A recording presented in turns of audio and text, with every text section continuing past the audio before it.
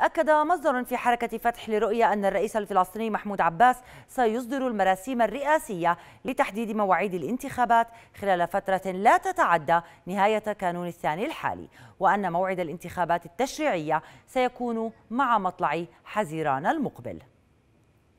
بدوره عضو اللجنة التنفيذية لمنظمة التحرير الفلسطينية الدكتور أحمد مجدلاني أشار إلى أن الساحة السياسية جاهزة للانتخابات مضيفا استحالة أن تخوض حركتا فتح وحماس الانتخابات ضمن قائمة موحدة وأن هناك إمكانية لتشكيل ائتلافات بين فصائل التيار الديمقراطي وفتح أو بين فصائل اليسار أو الفصائل الإسلامية.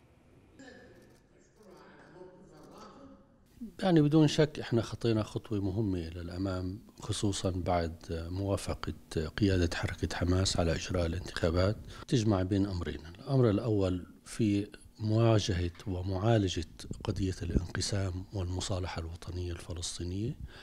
والربط المحكم أيضا ما بين تجديد النظام السياسي في مسألة السلطة الوطنية وما بين الشراكة السياسية في إطار منظمة التحرير الفلسطينية الممثل الشرعي والوحيد للشعب الفلسطيني. أنا بتصور إنه يعني الساحة السياسية الفلسطينية جاهز إلى الذهاب للانتخابات، الكل الوطني كل القوى السياسية والمجتمعية أيضا لديها الاستعداد ولديها الرغبة وهي ترى في عملية الانتخابات هي يعني إضافة لأنه حق دستوري هي أيضا مطلب من أجل تجديد الحياة الديمقراطية وتجديد النظام السياسي الفلسطيني.